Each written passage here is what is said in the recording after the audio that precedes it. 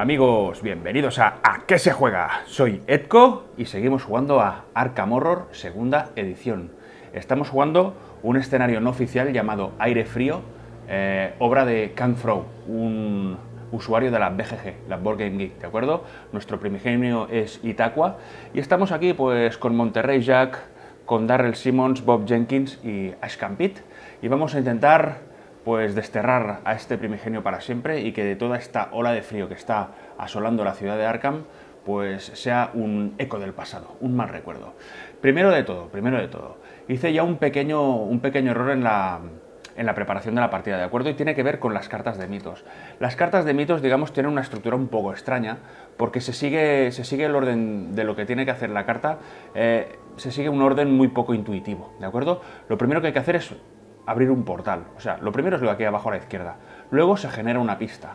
Luego se mueven los monstruos y luego se resuelve el texto, ¿vale? Esto te lo tienes que aprender, no hay, no hay otra forma. No es de arriba para abajo ni nada, es esto, esto, esto y esto. ¿Qué significa? que los monstruos se movían antes de que estos dos monstruos que tenemos aquí eh, aparecieran, ¿de acuerdo? Por lo cual no se podían mover los monstruos. Si os acordáis, los monstruos aparecen en las calles de la Universidad de Miskatonic, así es que se van a tener que quedar ahí, ¿de acuerdo? No se mueven al distrito comercial porque el movimiento de monstruos eh, había sucedido antes de que aparecieran. Bueno, este era solo el pequeño error que había cometido y gracias al comentario de uno de vosotros pues logré, logré darme cuenta y ¿sabes qué pasa? Es que a mí Arkham Horror me gusta mucho, pero claro, es un juego que no juego 20 veces al mes porque es que dura tanto que hay algunas cositas que se me olvidan, pero bueno. Volvemos, volvemos a la carga. Ahora ya sí que estamos aquí y creo que ya podemos empezar a, a jugar. Bueno, expliquemos un poco las reglas, ¿no? ¿Os parece? Eh, de reglas, la verdad es que el juego, digamos, las mecánicas del juego, el, fluir del turno es muy sencillo, ¿vale? Son unas fases que se repiten siempre.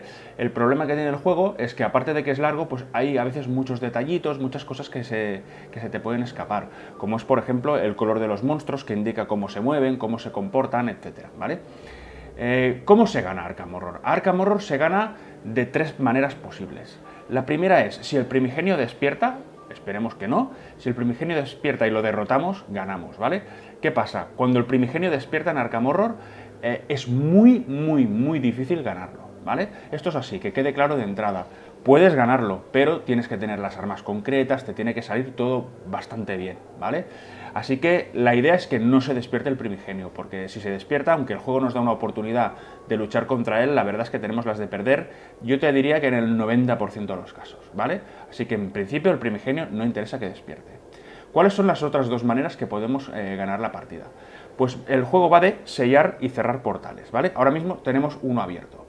Eh, durante la partida se irán abriendo portales. Normalmente, no siempre, pero normalmente las cartas de mitos abren portales, ¿vale?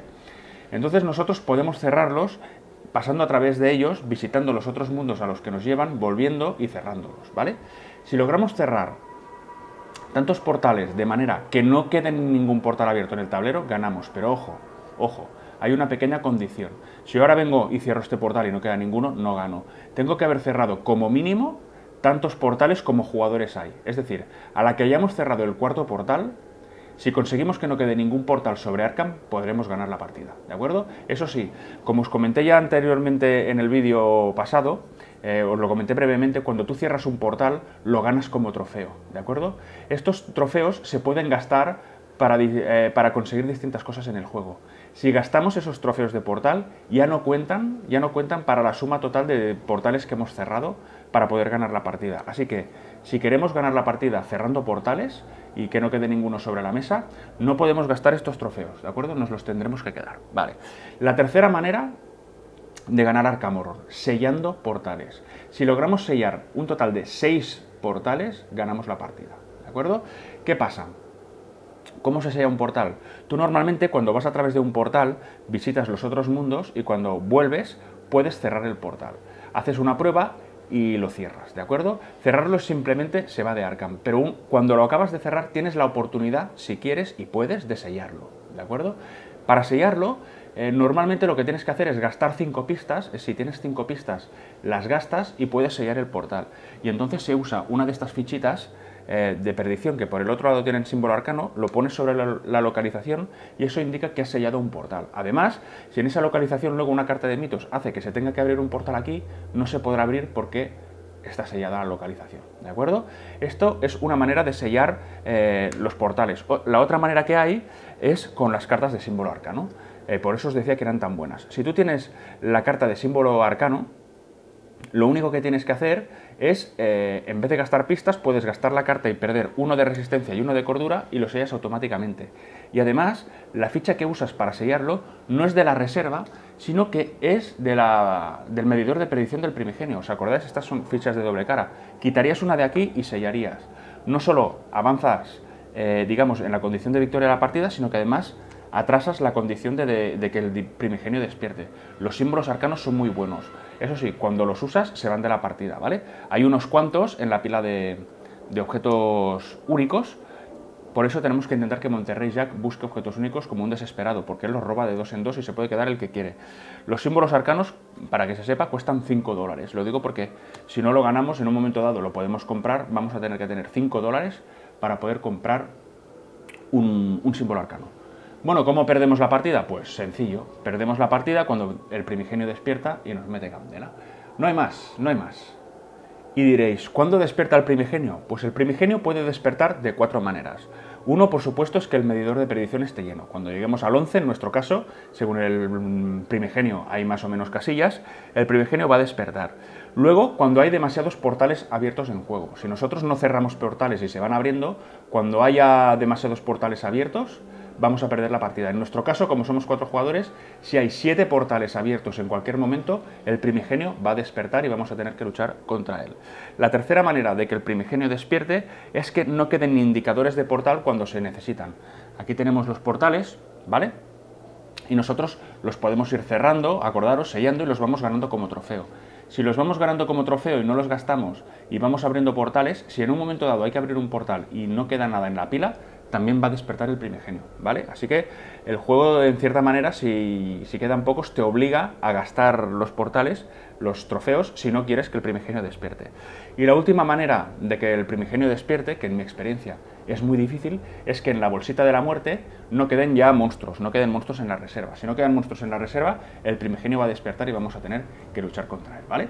Bueno, pues estas son las maneras de ganar y de perder a Arkham eh, muy fácil de contar, más difícil de hacer. Venga, vamos a empezar con un turno, si os parece, y así vemos ya cómo funciona este juegazo. Vale, un turno de Arkham Horror consta de cinco fases, ¿de acuerdo? Es la fase de mantenimiento, la fase de movimiento, la fase de encuentros en Arkham, la fase de encuentros en otros mundos, por este orden, ¿de acuerdo? Y la fase de mitos. La fase de mitos siempre es la de sacar carta, abrir portal, resolver y luego volveríamos a empezar con la fase de mantenimiento. La fase de mantenimiento, digamos, es la fase en la que podemos reajustar nuestros investigadores, podemos resolver cartas eh, que tengan que ver con la fase de mantenimiento, por ejemplo, ya tenemos una, ahora la vamos a ver, así que vamos a empezar por ahí. ¿Vale? Lo primero que hay que hacer en la fase de mantenimiento, hay distintos pasos que hay que seguir en orden, es preparar cartas agotadas. Ahora mismo, por supuesto, no tenemos ninguna. Eh, ya sabéis que hay algunas cartas que durante la partida las podremos agotar para hacer cositas, ¿vale? Ah, por ejemplo, el sigilo, la carta de sigilo que tiene Pit, se puede agotar para repetir una, tirada de, eh, de evitar estará agotada para el resto de la ronda. Cuando empecemos la nueva ronda, venga la fase de mantenimiento, la levantamos y ya la tenemos disponible. Así que es una vez por turno que se pueden usar, ¿de acuerdo? Vale, la segunda, el segundo paso de la fase de mantenimiento es eh, acciones de mantenimiento, ¿vale? Ahora mismo no tenemos eh, ninguna, aparte de el anticipo de, Darrell, ¿de acuerdo? Acordaros, el anticipo de Darrell dice mantenimiento, ganas 2 dólares, luego tira un dado, si sacas un 1, se descarta esta carta. Así que nosotros cada fase de mantenimiento ganaremos 2 dólares, a no ser que tiremos el dado y eh, saquemos un 1, entonces vamos a perder esa carta, pero de momento, como antes de tirar cobramos, pues mirad, el amigo Darrell ya gana dos pavitos, ha vendido unas fotos y ahora en vez de 4 ya tiene 6, ¿vale? Ya tenemos 6 dólares para poder comprar objetos, pero eh, hay que tirar un dado. Y si hay que tirar un dado, no sé si me explico, o sea, bandejita de la muerte, ¿vale? Eso es lo que hay. Aquí estos dados ya los habíais visto en Arkham Horror tercera edición, son unos dados que compré especiales para jugar a Arkham Horror precisamente. Hay 12 dados, porque el juego viene con 5 dados eh, blancos de toda la vida y normalmente no tiene suficientes dados para hacer las tiradas. Yo creo que con 12 mm, probablemente tengamos suficiente, ¿vale? Además los compré de color verde para que sea temático. Me compré los mismos dados en color morado para el Eldritch Horror, ¿vale? Bueno, pues nada, vamos a tirar ese dado y esperemos que nos salga un 1, venga. Si no sale un 1, mantenemos el anticipo. Si sale un 1, pues lo perdemos. ¿Qué tenemos aquí? Pues mirad, un 6, perfecto. Esto son buenas cosas, ¿qué pasarán? Son buenas cosas. Bueno, bandejita, vas a hacer más horas extras que yo que sé, ya, ya veréis, ya. Bueno, finalmente, eh, una vez realizadas todas las acciones de mantenimiento, si no voy errado, creo que no nos queda ninguna, ¿vale? Solo teníamos el anticipo de, de Darrell, perfecto. Lo último que queda es ajustar las habilidades de nuestros personajes. Ya sabéis que la concentración determina la cantidad de movimientos que podemos hacer cada turno de nuestros deslizadores de, atributos, ¿de acuerdo? En el caso de Monterrey son dos, en el caso de Darrell son dos, Bob es uno y Pete es uno. Así que solo podremos ajustar sus, medidores, la cantidad de concentración que tengan. ¿Qué pasa? Tendríamos que echar un ojo al tablero para ver qué nos interesa hacer y luego, según veamos eh, el plan que tenemos, ajustaremos los medidores de manera que se ajusten a lo que queremos hacer. Pues venga, vamos al tablero y vamos a comentar un poco qué nos interesaría hacer para empezar a mover todo esto. Vale, fijaos, ahora mismo tenemos a Bob en el almacén, tenemos a Pete en los muelles, a Jack en la tienda de curiosidades y ahí arriba de todo está Darrell en el periódico, ¿de acuerdo? Vale, ahora tenemos que discernir un poco lo que dijimos que tendríamos que hacer. Quedamos con que Jack mataría monstruos, ¿os acordáis? Pero claro, la habilidad de Jack que le permite robar objetos únicos está muy bien porque en la tienda de curiosidades es donde por una acción en la fase de encuentros, en vez de tener un encuentro ahí, puedes robar tres objetos únicos y comprar uno de ellos. En el caso de Jack, cogería cuatro, porque siempre roba uno más. Ahí es donde podemos encontrar los símbolos arcanos, con lo cual nos conviene que Jack, eh, como mínimo, en el primer turno no se mueva y haga una compra ahí, ahora que podemos. Lo mismo se podría decir prácticamente de Bob. En el almacén, él podrá comprar eh, objetos comunes y, cuando, y, a lo mejor podemos sacar un arma buena o algo que nos permita hacer cositas. Y luego, eh, cuando los investigadores se mueven, si coinciden en un espacio, eh, pueden intercambiar objetos, ¿de acuerdo? Esto no interrumpe su movimiento, así que podríamos hacer que coincidan y intercambiar cositas. Las pistas no se pueden intercambiar, pero todo lo demás se puede intercambiar, así que nos convendría, por ejemplo, ya que, ya que Monterrey Jack va a ser el, el, matamonstruos, tenemos aquí algunas armas muy potentes, como por ejemplo la metralleta de Pete, o tenemos la lámpara de, de Albacete de Bob Jenkins, nos interesaría quizá dársela a, a Monterrey Jack para que pueda ir matando monstruos. Además, acordaos que la historia personal de Monterrey Jack eh, necesita tres trofeos de monstruo para, para pasar la condición buena, así que nos interesa que así sea. Vale, por contrario, nos interesa que Bob no mate monstruos. Si consigue trofeos de monstruos, su condición mala de historia se va a cumplir. Así que ya va bien que le pasemos el arma de Bob a Monterrey Jack, ¿de acuerdo? Lo que sí que queremos que haga Bob es coger pistas. Así que tendremos que intentar que también se mueva por los sitios de pistas para recogerlas antes de que desaparezcan. Por otra parte, Darrell Simmons nos interesa que tenga trofeos de portal, así que lo tendremos que mandar para abajo a Arkham, porque es donde tenemos el primer portal abierto, ¿de acuerdo? Eh, Darrell, eh, ¿cómo vamos de armas de Darrell? Darrell está fatal de armas, así que tiene, bueno, tiene la espada encantada, que es un más 4. Bueno, no estaría mal, no estaría mal. Yo creo que voy a hacer que Darrell eh, tenga la... Le voy a subir el movimiento para que pueda moverse más y llegar al sur de Arkham rápidamente. Voy a hacer que Monterrey Jack se quede donde está. Voy a hacer que Bob de momento se quede donde está también. Y solo para compensar un poco voy a hacer que, el, amigo, que el amigo Pete eh, vaya cogiendo pistas y también se dedique un poco a limpiar un poco de monstruos porque no quiero que se me acumulen demasiado los monstruos, ¿de acuerdo? Pues venga, vamos a ver cómo, hacemos esto eh, ajustando los, los medidores de atributo. Bueno, hemos dicho que Darrell va a intentar ir al sur de Arkham y ahora mismo estamos casi al norte de todo, así que voy a ajustar su velocidad, dos espacios, es toda su concentración y vamos a poner 5 de velocidad y 0 de discreción. Tenemos que evitar monstruos como sea. Y además acordaos, tenemos que intentar evitar acabar en la calle, porque si no el frío puede acabar con nosotros, ¿vale? Perfecto, ¿qué más tenemos? A ver, a Pete, como lo voy a usar en principio para matar algo de monstruos, voy a subirle la pelea en 1, ¿de acuerdo? Y ahora estamos en 4 de pelea y en 3 de voluntad, que no está mal. Esto acaba con su eh, concentración de 1. Monterrey Jack lo voy a dejar tal como está. De momento, como se va a quedar un poco donde está, lo voy a dejar tal cual. Y el amigo, el amigo Bob, eh, de momento también lo voy a dejar en el almacén, pero no sé si me va a interesar me va a interesar mover alguna cosita. No, lo voy a dejar como está, ¿vale? De momento lo voy a dejar como está, así que aquí acaba la fase de mantenimiento. Podemos ir a la fase de movimiento. Eh, ¿Cómo es la fase de movimiento en Arkham Horror? Pues muy sencillo. Ahora tenemos que mirar la velocidad de cada uno de nuestros investigadores y los vamos a mover, si queremos, tantos espacios como eh, su capacidad de velocidad. Pues venga, vamos al tablero y vamos a empezar a movernos por Arkham.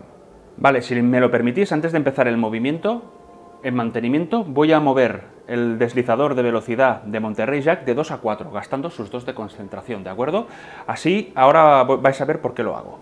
Lo primero que voy a hacer es mover a Monterrey Jack porque es el jugador inicial y tenemos que seguir el orden. Pues mirad, Monterrey Jack se mueve 1, 2, entra en el periódico con Darrell Simmons. Ahora como estamos en el mismo sitio, podemos intercambiar objetos únicos, objetos comunes o hechizos, ¿de acuerdo? O dinero incluso.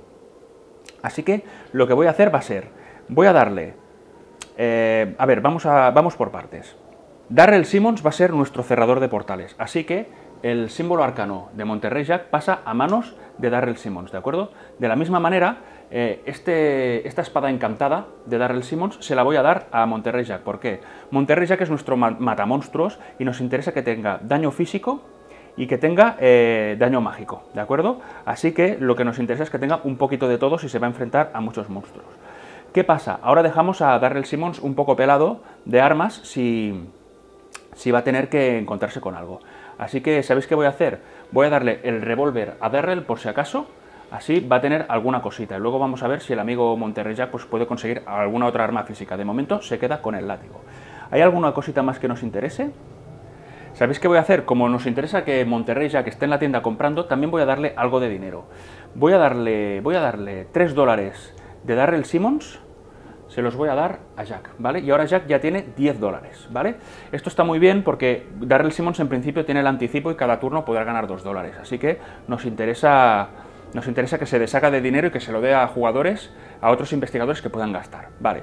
Ahora continuamos el movimiento de Monterrey Jack, que va a hacer 1 y 2, ¿de acuerdo? Se va a quedar en la tienda de curiosidades para poder eh, comprar. Muy bien, esto ha sido el movimiento de Monterrey Jack. Os recuerdo que para intercambiar objetos no hace falta interrumpir el movimiento, se puede hacer antes, durante y después del movimiento. Así que esto es perfectamente legal, ¿vale?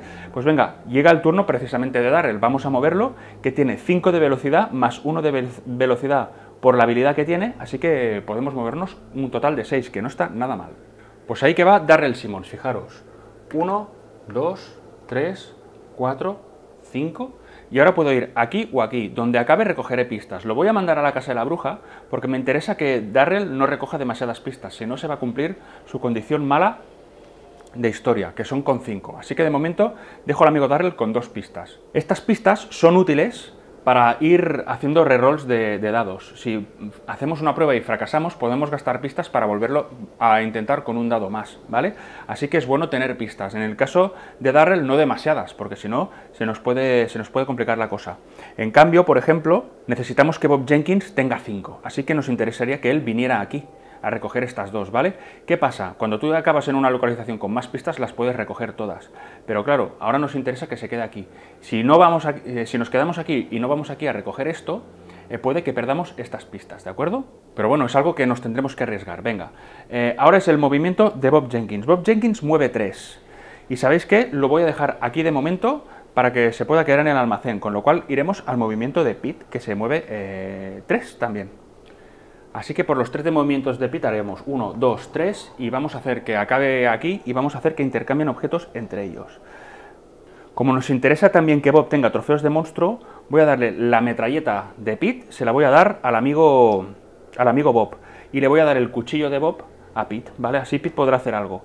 Lo que creo... Aquí tengo una moto, que no sé si Hmm, ¿Sabéis qué? Le voy a dar la moto a Pete para que se pueda mover más. ¿Os imagináis a Duke en el Sidecar? Pues ahí lo tenéis, ¿vale?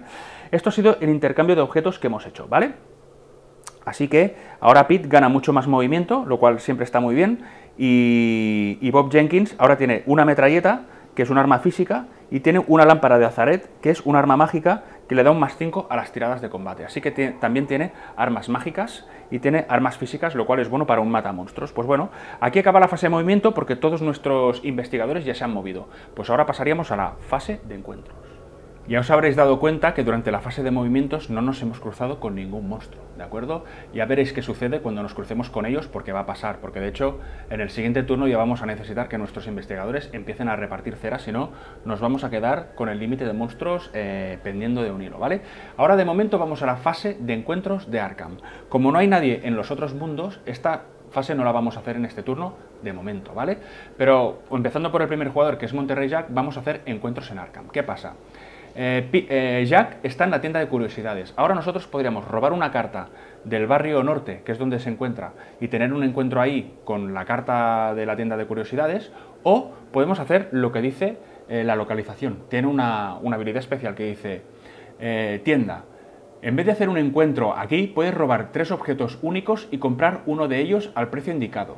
Los otros objetos se descartan, ¿vale?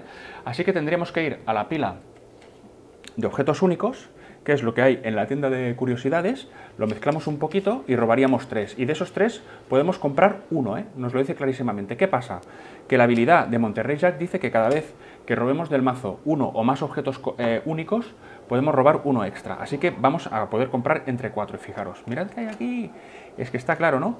Símbolo arcano. Y además tenemos el dinero que cuesta. Pues cinco pavos. El amigo Jack paga 5 pavos y ya tenemos otro símbolo arcano. Ahora todos estos objetos que tenemos aquí, agua bendita, la cábala de Saboz y el libro de Disan, estos los vamos a descartar. Pues bueno, los descartamos, eh, los ponemos aquí. No, es importante tenerlo en cuenta porque acordaos que Pit puede mirar en cualquier momento la, parte de abajo de cada, de cada mazo. Así que vamos a descartar las cartitas donde podamos. Espera que me organice, que la estoy liando parda. Vale, todo en su sitio. Darrell Simmons. Darrell Simmons está aquí en la Casa de la Bruja. Como la Casa de la Bruja no tiene ningún tipo de, ningún tipo de efecto especial, vamos a tener que tener un encuentro en, esa localización. Y para ello vamos a tener que robar eh, una carta del mazo del barrio de French Hill, ¿de acuerdo? Eh, las reglas dicen que siempre, o sea, cuando tú resuelves un encuentro, devuelves la carta al mazo, barajas y luego puede que te salga el mismo. Es un poco cutre, pero así son las reglas, ¿vale? Entonces, ¿cómo son estas cartas? Fijaros, tienen tres lugares. La loja del crepúsculo de plata, el santuario interior, que es un lugar aquí dentro de la logia del crepúsculo de, de, plata, y la casa de la bruja. Ahora tenemos que leer la parte de la casa de la bruja y tener este encuentro. Pues venga, me acerco y lo leemos juntos. La casa de la bruja. Disculpe, extranjero, ¿había visto alguna vez este símbolo? Un hombre que está junto a la casa sostiene un símbolo de lo oculto. Hace una tirada de saber menos uno. Y pues aquí lo dejamos. Saber menos uno. ¿Cómo tenemos el saber del amigo, del amigo de Arrel Simons? Pues tenemos un 2. Menos uno, saber menos uno significa que vamos a tirar un dado. Pues venga, vamos a la bandejita y explicamos cómo van las pruebas. Bueno, pues para las tiradas de pruebas, si habéis jugado al Dritch Horror, a Mansiones de la Locura o habéis visto alguno de los otros vídeos, ya sabéis cómo va. Tenemos que mirar el atributo del personaje, en este caso, Darrell Simmons de saber tiene dos. Como la prueba es saber menos uno, vamos a tirar un dado menos, con lo cual solo vamos a tirar un dado, ¿de acuerdo? Si, la, si el saber fuera 7, pues tiraríamos 7 dados. Saber menos uno, tiraríamos 6, ¿vale? Esto siempre funciona igual. ¿Y cómo sabemos si pasamos la prueba o no? Pues como siempre. Los éxitos son un 5 o un 6, ¿de acuerdo? Si estamos bendecidos, los 4 también son éxitos. Si estamos malditos, solo tenemos éxitos con el 6. Si la prueba no indica lo contrario, con que saquemos un éxito, eh, pasamos la prueba, ¿de acuerdo? Vale, ahora eh, no sabemos qué pasaría, pero bueno, vamos a tirar el dado y si sale un 5 o un 6, pasamos la prueba y vamos a ver qué sucede. Venga. Pues tenemos un 4. Ahora, por ejemplo, podríamos gastar una pista para volver a tirar el dado. Y sabéis como es Darrell Simmons y no nos interesa que acumule demasiadas pistas, venga, voy a probarlo. Voy a gastar una pista, la otra de momento me la voy a guardar, pase lo que pase. Así que vamos a volver a tirar el dado. Y venga, ¿qué tenemos aquí? Un 5 o un 6. Venga, mira, aquí está, tío, el 6, ¿vale? Como tenemos el 6, dice, si la consigues, hemos conseguido la prueba, dice, si la consigues, el hombre se presenta como Thomas F. Malone, detective de policía que se encuentra en Arkham investigando un caso. Le has impresionado y se ofrece a acompañarte. Toma su carta de aliado. Si no está disponible, te proporcionará una valiosa información en su lugar. Ganas dos fichas de pista. Si fallas la tirada, no ocurre nada. Como no hemos aún repartido ningún, ningún aliado, pues vamos a ganarlo como aliado. Venga, vamos al mazo de aliados que lo tengo aquí mismo y vamos a buscar al amigo Thomas F. Malone, que por casualidad, pues mirad, está aquí el primero de todos. Pues muy bien, devuelvo el mazo a su sitio y Thomas Malone dice, nos da un más uno de saber y más uno a la pelea. Esto aumenta la cantidad de dados que podrá tirar el amigo Darrell cuando hagamos una tirada de saber, como la que acabamos de hacer, o una tirada de pelea. Y además dice, roba un hechizo si Thomas Malone te acompaña. Como nos acompaña, vamos a además poder robar un hechizo, ¿vale? Así que ganamos el aliado y ahora vamos a los hechizos, ¿vale? Así que este es el mazo de hechizos. Vamos a mezclar un poquito, ¿vale? Voy a pegar un corte y a ver qué hechizo nos sale. Tenemos, pues mirad, una jar. ¿qué hace el hechizo Ajar? Fijaros. Modificador al lanzamiento, más 0, vale. Coste en cordura, 0. Hechizo mágico. Cualquier fase. Lanza y agota para ganar un más 3 a las tiradas de combate hasta el final del mismo. Esto es un, esto es un hechizo que nos permite eh, combatir, ¿de acuerdo? Ocupa una mano, así que poder ir con una arma y tirar el hechizo. Si tiro el hechizo, me ocupará una mano hasta el final del combate. Si paso la tirada, que además me cuesta 0 de cordura, me da un más 3 eh, a las tiradas de combate, ¿de acuerdo? Con lo cual poder tirar 3 dados más cada vez que luche contra un monstruo. No nos interesaba que Darrell eh, luchara contra monstruos, pero bueno, ya que vamos con el revólver y contra esto, podremos tener un más 6 a las tiradas de combate que en caso de encontrarnos con, encontrarnos con un monstruo que no nos interese, pues nos iría muy bien. Bueno, pues esto es un hechizo que gana el amigo Darrell Simmons. Ahora fijaros, Darrell Simmons ya tiene 8 cartas. ¿eh? Este es el problemita, digamos, de Arkham Horror, que tienes 40.000 cosas y tienes que acordarte de todo. Ya sabes que yo soy especialista en olvidarme. Bueno, pues una vez resuelto el encuentro, lo devolvemos a, su mazo, mezclamos un poco y luego ya volverá a salir, ¿vale? Bueno, devolvemos las cartas a su sitio y ya hemos resuelto el encuentro de Darrell. Pues vamos, le toca al amigo Bob. Amigo Bob Jenkins, en el almacén, tienda, en vez de tener un encuentro aquí, puedes robar tres objetos comunes y comprar uno de ellos por el precio indicado. Los otros dos objetos se descartan. Por su habilidad, que es la misma que Monterrey Jack, pero con objetos comunes, en vez de tres podemos robar cuatro, ¿de acuerdo? Así que vamos a hacer esto. En vez de tener un encuentro ahí, digamos, de carta, vamos a coger el mazo de objetos comunes, ¿vale? Lo mezclo un poquito, más que nada para que, para que veáis que no lo tengo preparadito. Voy a cortar por aquí y vamos a robar cuatro cartas. Una, dos, tres y cuatro. Aparto un momento el mazo. ¿Y qué nos ha salido? Fijaros, tenemos un farol, un farol, un sable de caballería y un material de investigación. Vamos a verlas con calma. El farol nos da un más uno a las tiradas de suerte y en cualquier fase además podemos agotar el farol para volver a tirar un dado más tras hacer una tirada de suerte. Bueno, pues no está nada mal. Tenemos aquí un par de faroles que nos cuestan 3. El sable de caballería nos da un más 2 a las tiradas de combate, que no estaría mal dárselo a Pit, no estaría mal dárselo a Pit ya que estamos en el mismo sitio, así que podría ser una opción, nos cuesta 3. Y tenemos material de investigación que cuesta un dólar y dice cualquier fase, descarta el material de investigación en vez de gastar una ficha de pista. ¿Sabéis qué? Me voy a quedar el sable de caballería. Se lo doy a Bob, que paga 3 dólares. Venga, ya somos 3 dólares más pobres, pero tenemos un sable de caballería. Y todo esto pues va a la pila de descartes, pues vamos allá. Ahora tenemos a Pete en el almacén, ¿de acuerdo? Podría volver a hacer lo mismo que ha hecho el amigo Bob. ¿Qué pasa? Pete solo tiene un pavo, ¿vale? Y como solo tiene un pavo, pues no podrá comprar nada prácticamente. Así que yo creo que nos interesa más hacer un encuentro a ver si sucede algo. Pues bueno, cogemos el mazo de cartas moradas, ya que estamos en el barrio fluvial, que es el, el barrio morado, pues como siempre, mezclamos las cartitas un poquito, corto por aquí, cojo esta de aquí, y tenemos que buscar el almacén. El almacén está aquí, pues venga, me acerco y lo leemos. Oiga, se le ha caído esto. Un golfillo callejero te entrega un objeto y luego echa a correr. No reconoces el objeto, pero el chico ya se ha ido roba un objeto común. Oye, perfecto, pues venga, vamos a robar ese objeto común. Y vamos a ver en acción la habilidad de Ashcan. Vale, si os acordáis, la habilidad de Ashcan decía, cada vez que Pit tenga que robar del mazo de objetos comunes, únicos o hechizos, podrá robar de la parte de abajo o de la de arriba a su elección. Pit puede mirar la carta de abajo de todos esos mazos en cualquier momento. Aún no lo había hecho, pero vamos a mirar la carta de abajo, eh, que no son los descartes, ojo, se descarta fuera. Vamos a ver qué hay. Pues mirad, hay Hostia, un rifle, tío. Arma física, más 5 a las tiradas de combate. Ocupa dos manos. Cuesta 6 pavos y lo ganamos, ¿eh? Uf, es una carta muy buena, ¿eh? Creo que no me voy a arriesgar. Voy a robar de la parte de abajo, ¿de acuerdo? Vamos a ganar un rifle para Pit, amísimo. Y fijaros lo que hay. Una automática del 45 en la parte de abajo. Esto lo hago porque Pit lo puede mirar, ¿vale? Sabemos que Pit en cualquier caso puede robar de la parte de abajo, así que sabemos que hay una automática del 45.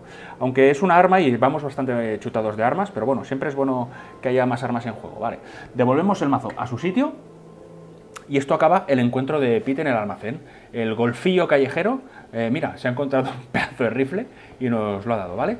Esto significa que Pete eh, se ha convertido ya en una máquina de matar. O sea, va con un rifle y en motos. ¡Ahí! ¡Yeah! Y a lo Mad Max por, por Arkham, perfecto. Pues bueno, esto acaba la fase de encuentros de Arkham y como os he comentado antes, como no hay nadie en otros mundos, la fase de encuentros de otros mundos nos la podemos saltar. Esto significa, pues, amigos, fase de Kina. Pues por supuesto, la fase de la quina es la fase de mitos. ¿Y cómo se soluciona la fase de mitos? Pues, pues muy fácil, robando una cartita de mitos, como ya hicimos en la preparación en el vídeo anterior, y la vamos a resolver. Y esta vez la vamos a resolver de manera correcta, ¿de acuerdo? Solo para que veáis que no me las preparo, pues venga. Corto y vamos a robar esta de aquí.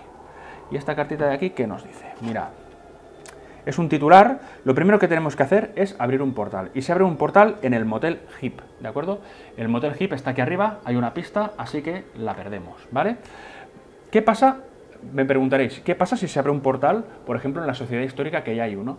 Pues eh, ocurre un estallido de portal, ya veríamos lo que sucede, pero que se abra un portal en una localización donde ya, hay, un portal abierto es muy malo, así que por eso es bueno ir cerrando portales y matando monstruos, ¿de acuerdo? Lo siguiente que hay que hacer, eh, aparece una pista en la Plaza de la Independencia, que es aquí arriba de todo. De momento ya tiene dos pistas. No se ve en el plano, pero os digo, tiene dos pistas la Plaza de la Independencia.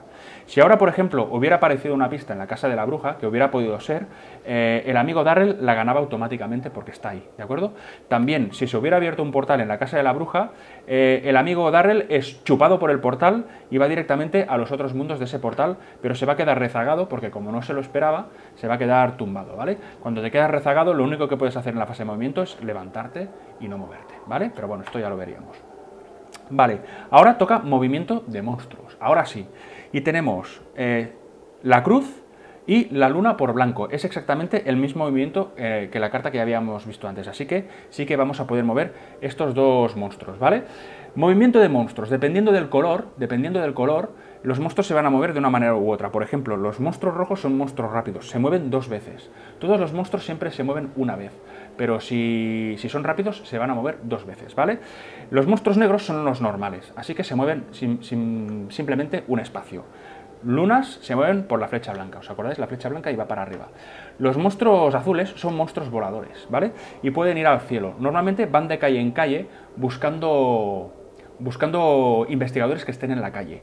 Como ahora mismo, como ahora mismo no hay ningún monstruo que esté en la calle, que esto ya lo hice mal también en la preparación, el monstruo el monstruo volador se va al cielo. El cielo es esa casilla que hay aquí debajo, que ahora mismo no se ve, luego os la enseño, pero se va al cielo y se va a esperar a que haya algún investigador en la calle. La casilla del cielo está conectada con todas las calles de Arkham. Si alguno de nuestros investigadores acaba en la calle, este bicho puede ir directo a él cuando le toque moverse, ¿vale? Y nos vamos a tener que pegar con él. Pero bueno, de momento está en el cielo. Una cosa importante es que los monstruos en el cielo, por supuesto, cuentan para el límite de monstruos que puede haber en Arkham. El cielo es el cielo, pero sigue siendo el cielo de Arkham, así que eh, el límite cuenta, ¿vale? Muy bien, ya hemos movido los, los monstruos, pues ahora solo nos quedará resolver la carta, que es un titular y dice, regresa a la expedición ártica de Miskatonic. Bueno, ¿y qué dice? Todos los antiguos reclamados como trofeos vuelven a la vida y aparecen en los muelles. Como no tenemos ningún trofeo, pues no pasa nada.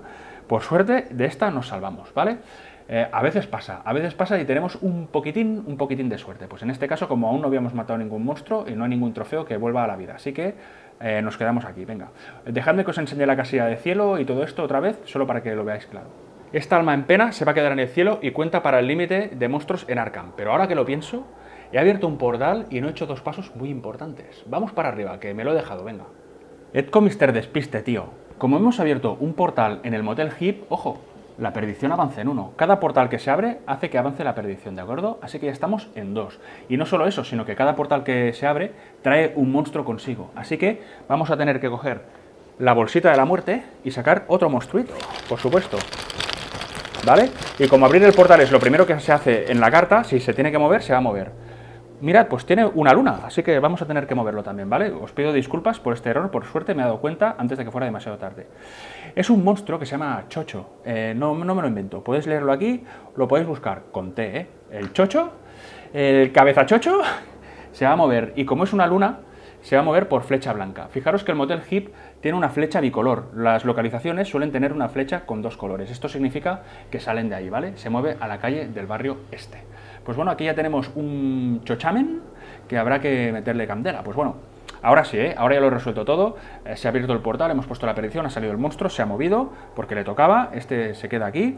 Tenemos un bicho volador en el cielo. Bueno, pues ya tenemos algunos bichos por, por Arkham. Quizás era cuestión de quizás era cuestión de, de, empezar a meterles caña, ¿no os parece?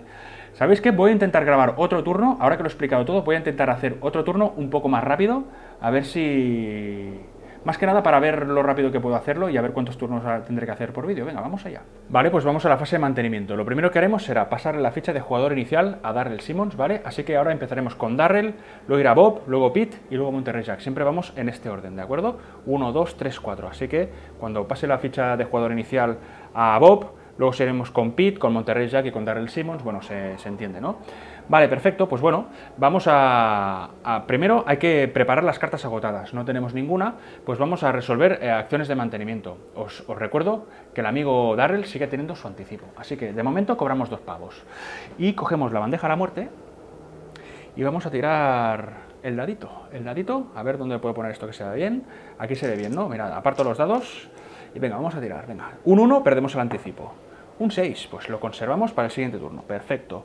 Esto es dinerico bueno, vale. Ahora ya hemos resuelto todo lo que tenemos de mantenimiento, pues sería eh, ajustar deslizadores para ver cómo nos conviene tenerlos. Vamos a echar un vistazo al mapa de nuevo y vamos a ver qué nos conviene hacer. Bien, Darrell Simmons será el primero. Lo tenemos aquí en la Casa de la Bruja y lo voy a mandar a la Sociedad Histórica para entrar por este portal, ¿vale? Como hay un monstruo, normalmente cuando tú quieres salir, cuando quieres salir de una localización en que hay un monstruo y no quieres pegarte con él, tienes que evitarlo.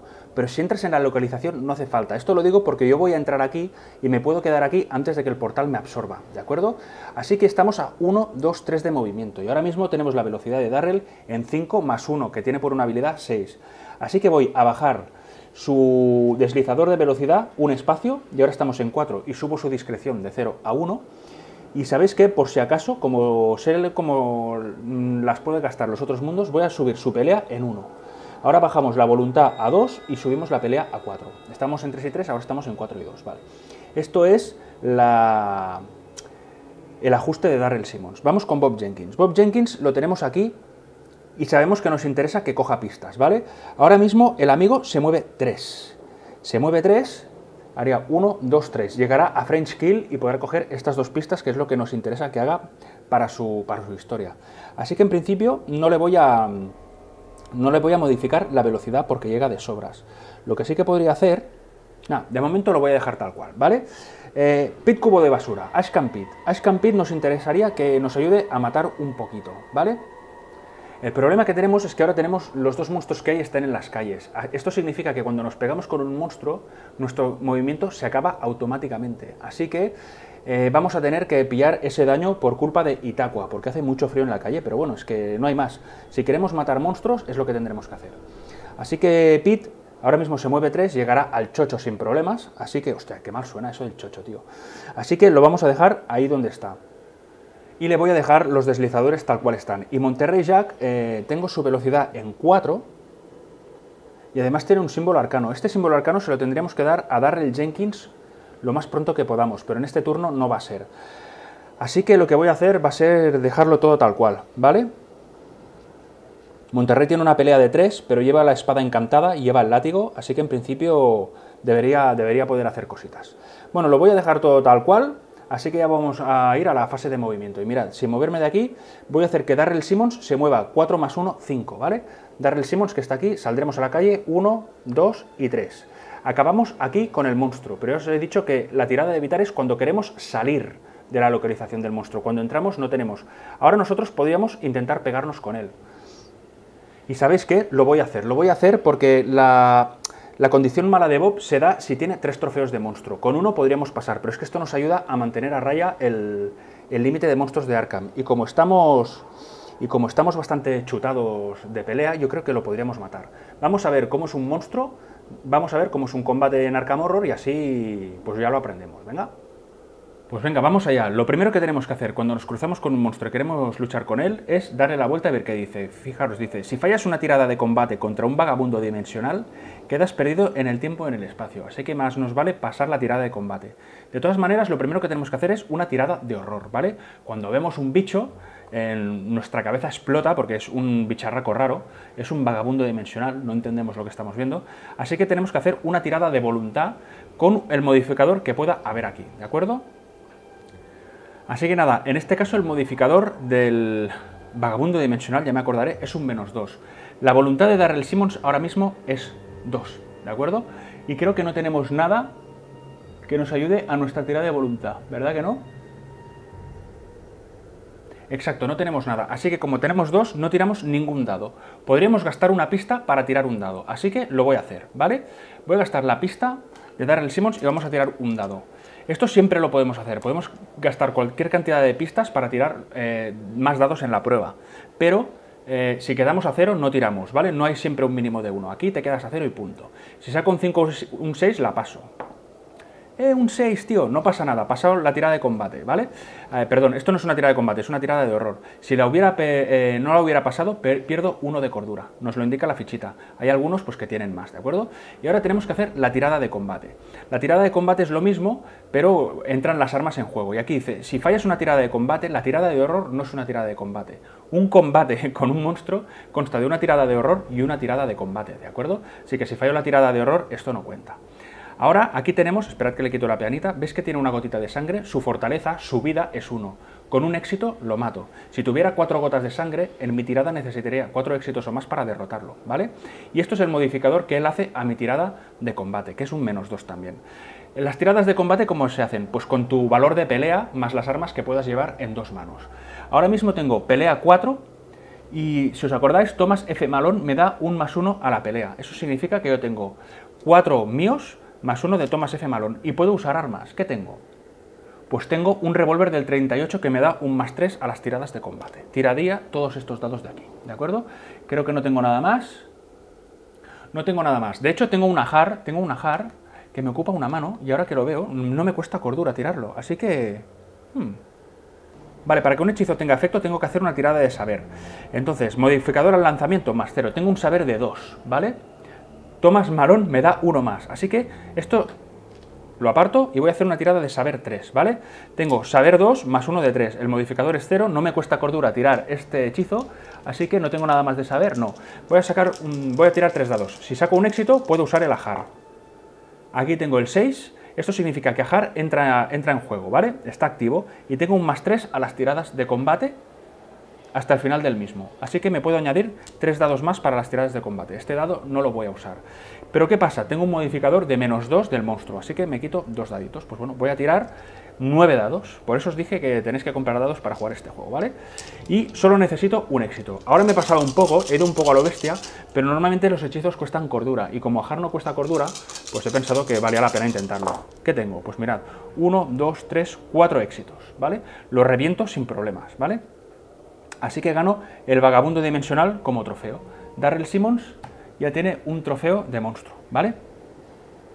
Que ahora que lo pienso es que me confundo todo el rato. Es Bob el que no necesita trofeos de monstruo. Darrell no le pasa nada. Como lo he matado, esto va aquí, el límite vuelve, vuelve a bajar, así que volvemos a estar un poco mejor. Perfecto, ahora acabamos ya nuestro movimiento aquí, porque además nos hemos enfrentado con un monstruo, así que tenemos que acabarlo igualmente. Y cuando llegue la fase de encuentros, pasaremos a otros mundos y tendremos encuentros de otros mundos. De momento, vamos a continuar con el movimiento de, ahora sí, Bob.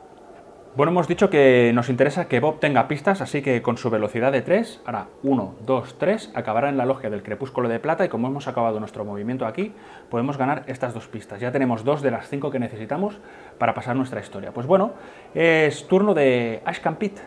Pues bueno, Pit, ¿vamos a, ¿vamos a saco? Venga, nos movemos 3, más la moto 2, nos movemos 5. Nos movemos 5. Pero vamos a por el chocho. 1, 2 nos encontramos con el chocho y ahora, eh, si queremos salir, ahora digamos podríamos pasar de largo, tendríamos que hacer una tirada de evitar, pero no lo voy a hacer. Voy a luchar contra el chocho porque quiero limpiar Arkham de bichos malos, ¿vale? Así que nada, vamos a por la bandejita de la muerte y nos ponemos a ello. Pues el procedimiento es exactamente el mismo que hemos visto con el vagabundo dimensional. Dejadme que quite la peganita y aquí tenemos el amigo Chocho que tiene emboscada. Fijaros, tiene la palabra clave emboscada que dice, significa que no podemos huir en medio del combate. Una vez empezamos a luchar contra él, hay que pegarle, ¿de acuerdo? dice, si consigues una tirada de combate contra el chocho, devuélvelo a la caja y obtén un, y roba, perdón, un objeto común, ¿de acuerdo? Esto significa que esto no lo podemos reclamar nunca como, trofeo. Se va de la partida y a cambio nos da un objeto común. Fijaros, tiene una fortaleza de dos, hay que sacar dos éxitos para pegarle. Y si, y si fallamos la tirada de combate, nos mete dos hostias. Ojo, cuando tú haces una tirada de combate y la fortaleza es dos, tienes que sacar los dos éxitos con una sola tirada. Si saco solo un éxito, contará como un fallo y me va a meter, ¿vale? Entonces empezaría otra ronda de combate. Así que es importante sacar los dos éxitos de golpe. Fijaros que no hay tirada de horror, ¿vale? Es un pequeñajo, es un cabezón pequeñajo que nos da la risa, ya verás tú cuando nos meta. Y no hay que hacer tirada de horror, pasamos directamente a la tirada de combate. Así que venga, vamos a ver la pelea de Pit. La pelea de Pit ahora mismo es 4, pues venga, 4 daditos para Pit. ¿Qué más? ¿Qué más tenemos por aquí? Tenemos... Eh, un cuchillo que nos da un más uno, nos ocupa una mano, pero obviamente tenemos un rifle que nos da un más cinco y nos ocupa las dos manos. Pues venga, 2, 3, 4 y 5. Estos tres dados no van a luchar, pero el modificador del chocho de combate es menos 2, así que tengo que quitar dos dados de aquí y vamos a hacer esta tiradita con todos estos dados. Vamos a ver si sacamos dos éxitos. Es lo que necesitamos. Pues venga, soplad y ahí vamos. Pit, venga. Fijaros, uno, dos, tres éxitos. Vale, pasamos la tirada porque necesitamos, era una dificultad de dos. Hemos sacado tres éxitos, pues reventamos al chocho. Pero ¿qué pasa? Se va de la partida, adiós señor. Esto vuelve a la reserva del límite de monstruos de Arkham, así que volvemos a estar bien. Y ahora sí que ganamos un, un objeto. ¿Os acordáis que debajo había una automática al 45 que Pete lo sabía, ¿vale? Voy a robar de arriba a ver qué sale. Venga, y lo ganamos. Fijar, pues un tomo antiguo. Odio los tomos, tío. Movimiento, ajusta, agota y gasta dos puntos de movimiento para hacer una tirada de saber menos uno. Si la pasas, roba un hechizo y descarta el tomo antiguo. Si la fallas, no ocurre nada. Bueno, eh, yo no soy muy, muy de tomos. Esto ya va a estilos de juego. A mí los tomos me... me bueno, los hechizos no me gustan demasiado porque siempre te cuestan cordura, pero bueno. Hemos liquidado un monstruo, ¿qué pasa? No, acabamos en la calle. Si cuando acabe la fase de mitos estamos aquí, vamos a pillar un daño, porque el frío nos hiela los huesos. Eso sí, no vamos a poder tener encuentros, ¿vale? En la calle no se tienen encuentros. Así que, bueno, aquí acaba ya, digamos, todo el turno de Pit hasta el siguiente. Vamos con, vamos con Monterrey Jack, que es el último en jugar, va. Monterrey Jack sí que nos interesa que tenga trofeos de monstruo, así que vamos a moverlo, 1, 2, y nos vamos a enfrentar al sirviente de Glacky. Ojo que el sirviente de Glacky tiene mucha mala leche, ¿de acuerdo? Y ahora veréis por qué. De momento traigo la bandejita aquí y nos dice, fijaros, dice, cuando el sirviente de Glacky entre en juego, todos los investigadores deben descartar un hechizo si les es posible. Cuando empezó la partida, esto no lo leí, pero no teníamos hechizos, así que no pasa nada. Venga, tirada de horror, modificador menos 2. Perdemos 3 de voluntad. Ojo que el amigo Monterrey Jack tiene 3 de cordura. Si, ah, si, fallamos esta tirada, nos podemos quedar locos, pero locos, ¿vale?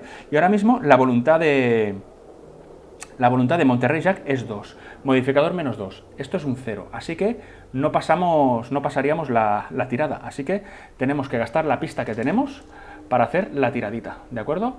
Gastamos la pista y vamos a ver si sale un 5 o un 6. Si sale la pasamos y no nos comemos el, el horror. Venga, 5 o 6. Ahí está el 5, el 5, pavo. Monterrey Jack, amísimo, venga. Entonces tenemos que hacer la tirada de combate, ¿vale? Dificultad 2 vamos a ver que Monterrey Jack va chutado hasta las trancas. ¿Qué tenemos? Tenemos una espada encantada que nos da un más 4, ¿vale? Más 4. Tenemos un látigo que nos da un más 1. Y además de pelea vamos con 3, así que tiraremos todos estos daditos, ¿vale? ¿Qué pasa? Modificador de monstruo, menos 2. Pues vamos a tirar 6 dados. Necesitamos dos éxitos en 6 dados. Se puede hacer, se puede hacer, venga. Y como se puede hacer, vamos a tener que conjurarnos a todos los dioses. ¿Qué tenemos por aquí? Ojo con el látigo, dice, cualquier fase. Agota el látigo para tirar de nuevo un dado tras una tirada de combate, ¿vale? Es una semipista que tenemos, a ver si nos puede ayudar. De momento, a ver si no lo necesitamos. Tiramos los dados. Mirad, uno, dos, tres éxitos. Tres éxitos. Nos cargamos al mequetrefe, lo ganamos como trofeo. Ya tiene un trofeo Jack de los tres que necesita. Perfecto. ¿Qué pasa? El amigo Jack también se queda en la calle, no va a tener encuentro y va a pillar uno de daño por el frío, ¿vale? Así que si el efecto de la fase de mitos no nos mueve, que a veces mueve a los investigadores en contra de su voluntad, eh, pues vamos a pillar. Eso sí, esto vuelve aquí y ya volvemos a estar con un límite de 6. El único monstruo que hay en juego está en el cielo de Arkham. Si se mueve, eso sí, se va a enfrentar a uno de nosotros, ¿vale? Porque estamos en las calles. Pero bueno, de momento la cosa se queda aquí. Como hemos hecho Monterrey Jack, se acaba la fase de movimiento, pues vamos a la fase de encuentros de Arkham. Lo primero que hay que hacer en una fase de encuentros es, si un investigador está en un portal, le damos la vuelta y mira, nos vamos a Yugoth. A Yugoth, tío, pues Yugoth está aquí Caemos en el primer espacio. Todos los otros mundos, si os fijáis, tienen dos espacios con una flechita aquí. Esto es porque en la siguiente fase de movimiento lo único que podremos hacer es movernos aquí, ¿vale? Vamos a tener que tener dos encuentros en Yugoth y en cualquiera de los otros mundos en los que caigamos antes de poder explorarlos, salir y cerrar el portal, ¿de acuerdo? Así que el amigo Darrell se queda aquí. Eso sí, los encuentros de otros mundos siempre van después de los de Arkham, así que primero vamos a resolver los investigadores que están en Arkham. Aunque no sea su turno, ni Jack ni Pete pueden tener un encuentro en Arkham porque están en la calle. Así que el bueno de Bob va a robar una cartita del mazo de French Hill. Nos vamos a la logia del Crepúsculo de Plata y vamos a ver qué nos cuentan en, este lugar en este lugar tan, tan oscuro, tío. Mira, Logia del Crepúsculo de Plata. Venga, vamos cerca y la leemos. Encuentras un viejo pergamino en el estudio. Haz una tirada de saber menos uno para robar dos hechizos y quedarte con uno a tu elección. Pues a ver, el amigo Bob tiene un saber de dos. Saber menos uno, tiraríamos un dado. Tengo algo más de saber, no tengo nada más. Pues vamos a tirar un solo dado. Pues venga, vamos a la bandejita y tiramos ese dado. Bueno, tener hechizos siempre es bueno, pero no voy a sacrificar pistas para conseguirlo, ¿de acuerdo? Si lo ganamos bien, si no también. Vamos a hacer la tirada de saber menos uno. Esto lo digo porque la condición de victoria, la condición de superación de la historia de Bob Jenkins es que tenga cinco pistas, así que voy a intentar eh, guardarlas para, pasarla, ¿vale? Pues venga, tiramos el dadito y un 6, tío, un 6. Pues, eh, pues ganamos un, un hechizo. Robamos dos, robamos dos hechizos y nos podemos quedar uno. El otro se descarta. Pues mirad, corto por aquí, ganamos dos hechizos, que son estos de aquí, y vamos a ver qué nos ha tocado. Pues venga, dejad que retire esta carta, que ya está resuelta, así tenemos menos cosas en pantalla. ¿Y qué tenemos? Pues un Ajar, que mirad, nos ayuda al combate, y una protección corporal. Ajar ya vemos cómo va. Eh, protección corporal, modificador de lanzamiento menos 2. Coste en cordura 1. Este ya es más chungo que este. ¿eh? Hechizo mágico. Cualquier fase, lanza y agota para ignorar toda pérdida de resistencia causada por una única fuente. Se descarta si el primigenio despierta. ¿Sabéis qué? Me voy a quedar con Ajar porque esta protección corporal, eh, digamos, es, muy, es muy exigente, tío. Es muy exigente y prefiero tener algo un poco más llevadero. Así que un Ajar para el amigo Bob. Muy bien, aquí acaba la fase de encuentros de Arkham, porque solo Bob podía tener un encuentro en Arkham. Pues vamos a visitar al amigo Darrell a Yugo y así veis cómo van los encuentros de otros mundos. Mira, vamos allá, va. Vale, para resolver los encuentros de otros mundos, estamos en Yugoth. Tenemos que coger el mazo de otros mundos, lo voy a mezclar solo para que veáis que no está preparado ni nada. Voy a pegar un corte y son estas cartas con este reverso, que por cierto es mi ilustración favorita de todos los juegos de Arkham Files. Ya sabéis que los juegos de Arkham Files tienen eh, arte por un tubo, tienen ilustraciones repetidas, pero es que hay cientos y cientos de ilustraciones, eh, especialmente gracias al juego La llamada de Turo, el EDFG. Hay tantas cartas que todas tienen una ilustración distinta. Pues de todo el arte que hay en el juego, esta es mi ilustración favorita. Entonces, llevo años buscando esta ilustración en alta definición por internet o como mínimo intentar enterarme de quién es el artista. Hay tantos artistas en este juego que no sé de quién es. Si alguno de vosotros lo sabe, yo os agradecería esa información. O bien tener la imagen en alta definición o bien saber quién ha, hecho esta, esta, ilustración, porque tengo un pequeño proyecto personal que lo voy a dejar ahí y me gustaría mucho mm, tener esta imagen en calidad. Bueno, vamos al lío. Los otros mundos tienen unos pequeños círculos de colores, ¿de acuerdo? Estas cartas de aquí tienen unos colores. Entonces hay que ir robando cartas hasta que aparezca una carta del color de tu otro mundo. En nuestro caso es azul o amarillo. Si robamos cartas eh, rojas o verdes, que son los cuatro colores que hay, las vamos a ir descartando, ¿de acuerdo? Carta roja, la ignoramos. Carta azul, ¿eh? Carta azul la resolvemos, ¿vale? Eh, cuando sale una carta de nuestro color tenemos que buscar nuestro otro mundo en esa carta. En, nuestro caso, Yugoth. Y aquí pone abismo, no. Celeno, no. Aquí que aparece otros. Como no está nuestro, nuestro otro mundo aquí, tenemos que resolver otros. Y otros nos dice, aparece un monstruo. Pues venga, un monstruo en nuestra puta cara, tío. Descarto estas cartas, este mazo se puede volver a su sitio, que no me despiste, y va a tener que aparecer un monstruo. Pues así, cogemos la bolsita de la muerte y sacamos un monstruito. ¿Y qué tenemos por aquí? Pues fijaos, tenemos otra alma en pena, otra alma en pena, que es un, monstruo, eh, ya os acordáis, volador. ¿Qué pasa? Cuando nos aparecen monstruos así de sopetón en encuentros, ya sea en otros mundos o en un encuentro en Arkham, nosotros, digamos, luchamos contra él y luego se va. Eh, no, lo, no, no, se queda por, por, el tablero, ni se queda para el límite de monstruos, ni nada por el estilo. Nosotros lo evitamos, si lo evitamos, se va. Si lo pegamos, trofeo, ¿vale? Así que nada, vamos a coger la bandejita de la muerte. La pongo aquí. Y ahora con este monstruo podemos hacer dos cosas. Una es evitarlo y la otra es combatir contra él. Veamos. Fijaros, tiene un montón de palabras clave. Abrumador 1, espeluznante 1, inmunidad física y no muerto. Vamos, vamos por partes a ver qué significa todo esto. Abrumador significa que aunque derrotemos al monstruo, siempre vamos a pillar daño. En este caso, como es abrumador 1, aunque le reventemos, vamos a pillar 1 de daño, ¿de acuerdo? Espeluznante 1 es parecido. Si superamos la tirada de horror, eh, no nos vamos a quedar sin sufrir horror, vamos a sufrir un horror como mínimo, ¿de acuerdo? Si fallamos la tirada de horror, espeluznante no tiene efecto. En cualquier caso siempre perderíamos uno de horror. Si fallamos lo perderíamos por esto, si la pasamos la perderíamos por espeluznante. Inmunidad física significa que nuestras armas físicas no pueden hacerle daño, no podemos usar sus bonificadores. Ahora mismo Darrell solo tiene un revólver eh, que nos permite añadir un 3, pero es un arma física, así que es como si el revólver no lo tuviéramos, tendremos que pelear a pelo. Y vemos, bueno, que es un monstruo no muerto también, ¿vale? Fijaros, si lo evitamos, él nos metería dos hostias. Si lo evitamos, para evitarlo es un mastero, ¿vale?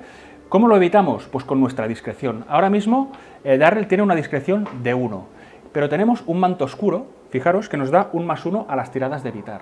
Así que si lo evito, yo creo que si lo evito, todo esto nos lo, nos lo saltamos, ¿vale? Esto es solo si entras en combate con él. ¿Qué pasa? Si fallo la tirada de evitar, me va a meter dos hostias y entonces empieza el combate, ¿vale? Así que espero que esta tirada de evitar nos salga. Lo que tenemos que hacer es, eh, tenemos uno de discreción, ¿vale? Tenemos uno por el manto oscuro, tiramos dos daditos. Pues venga, nos la vamos a jugar, ¿eh? Nos la vamos a jugar, así que quito todo esto de aquí. No tengo nada más que me ayude. Vale, pues vamos a hacer la tirada. Eh, su modificador es más cero, así que tiramos los dos dados. Pues venga, un 5, un 6, un 5, un 6. Vamos, Darrell. Pues mirad, un 1 y un 4. Me lo como, ¿vale? Así que como no lo evitamos, de momento ya nos comemos dos hostias. Pasamos de 6 de resistencia a 4. Ojo Darrell, ojo Darrell. Y ahora pasamos al combate. Lo primero, tirada de horror. Tirada de horror era voluntad, es menos 2. Vamos con la voluntad a 2, no tenemos pistas, así que nos vamos a comer el horror sí o sí. Pues me lo como, ¿vale? Paso de 4 de cordura a 3. Este, este bicho es duro de pelar, ¿eh? Y ahora tiene además inmunidad física. Así que tenemos que ir con nuestra pelea. Nuestra pelea es de 4, ¿vale? Pero si os acordáis, el amigo Thomas F. Malone nos da un más 1 a la pelea. Vamos a 5. Nos resta 2, vamos a 3. Vamos a 3 éxitos. Acordaros que tiene que ser un éxito total. Su fortaleza es 3. Este encuentro en otros mundos nos está machacando, ¿eh? No tengo nada más, ¿no? No tengo nada más. Pues el ajar está gastado. Así que no puedo usarlo para este combate. Quizá me hubiera convenido no gastarlo antes y gastarlo ahora. Bueno, con tres éxitos no pasa nada, amigos. ¡Ay, amigo! Así se juega este puto juego. ¡Amísimo, coño! Darrell, amisísimo. Venga, lo reventamos. Así que ganamos este trofeito, este trofeito para Darrell, que ya tiene dos, ¿vale? Tiene dos trofeos de monstruo, así que perfecto. Hostia, no me lo esperaba esto, no me lo esperaba. Pensaba que tragaríamos esquina por un tubo, pero eh, a veces en Arkham Horror tienes un poquito de suerte, solo a veces. Muy bien, esto ha acabado el encuentro de otros mundos del amigo Darrell, así que acaba la fase de encuentros, pues vamos, ya lo sabéis, a la fase de Kina. Bueno, nada, pues vamos rápido, fase de mitos, venga, Fase de mitos, que es la que acaba el turno. En Arkham Horror, por ejemplo, el ECG, la fase de mitos es la primera que hay, aquí es la última del turno. Venga, robaremos esta carta de aquí y ahora que no se me olvide nada. ¿eh? Lo primero de todo, abrimos portal. ¿Dónde se abre un portal? En la Plaza de la Independencia. Pues fijaros, hay dos pistas que se retiran, hemos perdido dos pistas y se abre un portal. Cuando se abre un portal, aumenta la perdición en uno, ¿vale? Así que ya estamos en tres. Y además aparece un monstruo en ese portal. Pues venga, vamos a hacer aparecer un monstruito que será un vampiro estelar, casi nada, casi nada, de color morado, tiene resistencia física, fijaros, 3 de fortaleza, nos hace perder 3 y 3, una puta bestia, ¿vale? Bueno, pues un vampiro estelar, tío, que se va a la Plaza de la Independencia, y ya está, y así se juega este juego, y viva Arkham y traga aquí, pavo. Vale, ¿qué más? Ahora hay que hacer, hacer aparecer una pista en lo innombrable, pues aquí he descartado dos, cojo una y lo innombrable está aquí justo al lado de Monterrey Jack. Así que tenemos dos pistas al lado. Ahora se mueven los monstruos, venga. Oh, vamos a pillar, vamos a pillar, tío. Porque otra vez los monstruos de Luna eh, se mueven y los de Cruz se mueven. Este de aquí es una estrella, una estrella de seis puntas, así que no se mueve. Pero el monstruo que tenemos en el cielo, el alma en pena, se mueve directamente a las calles de Arkham, ¿vale? ¿Y contra quién lo vamos a mover? Pues tendríamos que moverlo con... Voy a moverlo contra Monterrey Jack, ¿de acuerdo? Así que vamos a tener que enfrentarnos contra él inmediatamente, porque viene con nosotros, si no recuerdo mal, así que voy a comprobarlo, pero creo que tenemos que enfrentarnos contra él directamente. Vale, dos cosas. No nos tenemos que enfrentar ahora con él, nos enfrentaremos en todo caso luego en nuestra fase de movimiento. Y dos, no puedo escoger contra quién va. Va contra el que tiene el nivel de discreción menor en este momento. En este caso he tenido suerte porque Monterrey Jack tiene una discreción de cero y Pete eh, tiene una discreción de 3, ambos están en las calles, así que eh, tendría que ir para Monterrey Jack, así que ya lo he hecho bien esto, ¿vale? Muy bien, pues ya se han movido todos los monstruos, así que eh, hemos hecho aparecer el portal, ha aparecido la pista, se han movido los monstruos, pues tenemos un titular, una fuerte tormenta azota Arkham, como si hiciera falta. Todos los monstruos que estén en las afueras y el cielo regresan a la reserva, joder, qué mala suerte. Qué mala suerte he tenido aquí. Bienvenidos a Arkham, amigos. Bienvenidos a Arkham. Esto es la fase la esquina, pues aquí tiene esquina. Nos hubiéramos podido librar de este bicharraco justo antes y ahora, pues mira, justo se ha movido que nos lo comemos. Pues nada, eh, aquí acaba otro turno de Arkham Horror. Eh, creo que lo voy a dejar aquí, ¿vale? Porque este vídeo ha sido un poco largo. Hemos hecho dos turnos enteros, ya veis cómo funciona todo, así que yo creo que en los siguientes vídeos podremos ir un poquito más ligeros si os parece, ¿vale? Ya sé que a veces me enrollo mucho, pero bueno, ya sabéis que esto es a qué se juega y cuando empiezo a hablar no callo, tío. Espero que os esté gustando el juego. Eh, como siempre, este juego es muy susceptible de cometer errores. Si sois súper especialistas en Arkham Horror y creéis que he cometido algún fallo, por favor, decídmelo, que yo aprecio que me digáis los errores y si los puedo corregir, los corrijo, ¿de acuerdo? En todo caso, eh, lo dejo aquí. Eh, como siempre, si os gustan los vídeos, por favor, suscribíos y le dais a la campanita y nos vamos viendo, nos vamos viendo. Eh, en el siguiente episodio veremos al amigo Darrell Simmons ya avanzar en otros mundos y creo que con un poco de suerte, si el vídeo es un poco más rápido, podremos verle intentar cerrar el portal y sellarlo con el símbolo arcano que tiene. Hasta entonces lo dejo aquí, os mando un fuerte abrazo y como siempre, eh, muchas gracias. Pero eh, Edco, estamos en la calle y ha acabado la fase de mitos. Monterrey Jack pilla una hostia. Que a veces os pensabais que me olvidaba y Pit Cubo de Basura pasa de 6 a 5. Que hace mucho frío en Arkham y no llevamos bufanda. ¡Hasta luego!